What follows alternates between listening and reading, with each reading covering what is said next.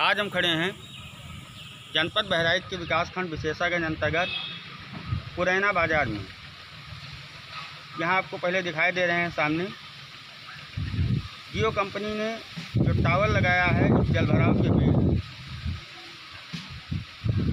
ये अपनी बदहाली पर स्वयं शर्मिंदा है। इस संबंध में कई बार संबंधित अधिकारियों से बातचीत की गई, जिसमें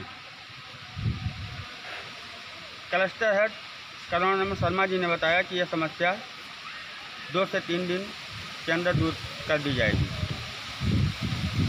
आज कम से कम एक हफ़्ते से ऊपर हो रहा है। जो है यहाँ के उपभोक्ता परेशान हैं, टावर से लगभग 50 से 60 मीटर की दूरी पर खड़ा हूँ और यहाँ पर भी जियो का नेटवर्क काम नहीं कर रहा है। मैसेज भेजना हो, वो भी नहीं जाता है। स्थानीय लोग यहाँ से परेशान हैं। कई लोगों ने ये भी बताया, जब ये टावर लग रहा था, उस समय हम लोग बहुत खुश हुए और अदर कंपनियों से हटकर हमने जियो में पोर्ट करवा दिया। इस कार्य पर पश्चाताप के आँसू बहा कई लोगों से बात की। उन्होंने बताया ये टावर लगे कम से कम एक वर्ष से ऊपर हो रहे हैं, लेकिन ये जो बाज़ार, पुराना बाज़ार है, यहाँ अभी ठीक से काम नहीं कर पा रहा है। आस पास गाँव की बात छोड़ दी आइए बात करते हैं। कुछ उपभोक्ता जो आपको बताएँगे कि इनकी समस्या क्या है। यहाँ पर जब पहले पहले टावर लगा तो हम लोग खुश हुए प्रसन्न हुए कि चलो टावर लग रहा है नज़दीक हो गया है इसी से हम लोग जुड़ जाते हैं। हम लोगों ने अपना अन्यथा हर कंपनियों को छोड़ के इसमें पोस्ट हुए।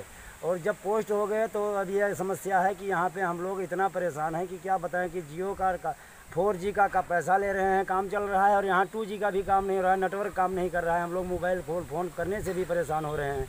इतनी समस्याएँ हैं। सूरज त्यौहार है।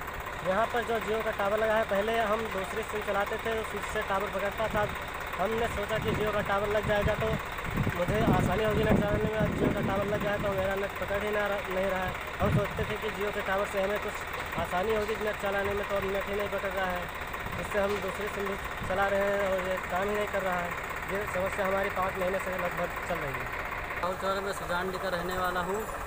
पिछले वर्ष यहाँ पर जियो का टावर लग रहा था तो हमको काफ़ी आसानी हो रही थी जियो चलाने में नहीं अब भी दिक्कत पड़ रही है हमको। जियो चलाने में जो टावर लगा उसके वो हमको कुछ बेनिफिट भी नहीं मिला है।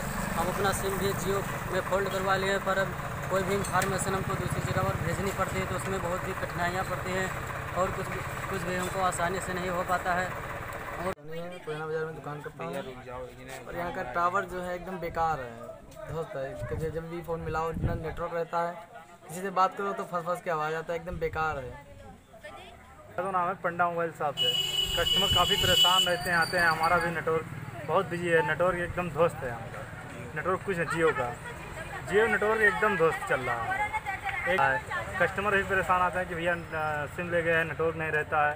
हम लोग काफ़ी परेशान हैं इसका कोई उपाय किया जाए? डेढ़ किलोमीटर दूर है हमारा कुर्सहा गाँव। और जियो नेटवर्क बिल्कुल बेकार है नहीं चल रहा है बहुत परेशान है। हमारा घर पुराना में है जियो नेटवर्क सही नहीं चल रहा है। जियो टावर 200 किलोमीटर की दूरी पर है नेटवर्क नहीं चल रहा। है ग्राम मधुनगरा विक्रम मिश्रा जो एयरटेल से जियो में पोर्ट करवाया था और आज तक भी नेटवर्क की समस्या बनी हुई है। अब जिसके कारण नेटवर्क नेट नहीं चलता है और कोई भी कारण कोई भी कार्य नहीं हो पाता है। अब हम पोर्ट करा कर किस नेटवर्क में जाएँ? पुराना बाज़ार के हैं। और यहाँ पर जब टावर लगा था तो हमें बहुत खुशी हुई थी। हम लोग अपना सिम पोर्ट करा लिए। अब कोई चांस भी नहीं है कि हम लोग अपना सिम फिर दोबारा फिर कहीं पर करा दें। तो यहाँ पर अब नेटवर्क की प्रॉब्लम है तो उसकी कुछ सुनवाई भी नहीं हो रही है, ना कुछ भी हो रहा है।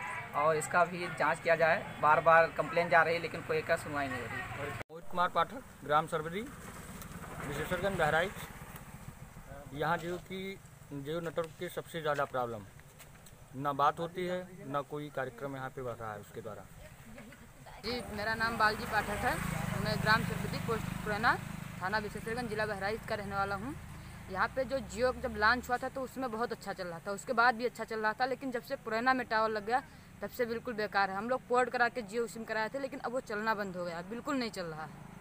मैं दीपेश कुमार पांडे हमारा गाँव कुरशहा है। मैं जियो का उपभोक्ता हूँ। और हमारे यहाँ बगल में ही 500 मीटर से एक किलोमीटर के अंदर में ही जियो का टावर लगा है, जो कि नेटवर्क पूर्ण तरीके से ध्वस्त पड़ा है। हम लोगों ने पहले जो नेटवर्क मिलता था, उसको अब पोर्ट करा के जियो में चले आए हैं।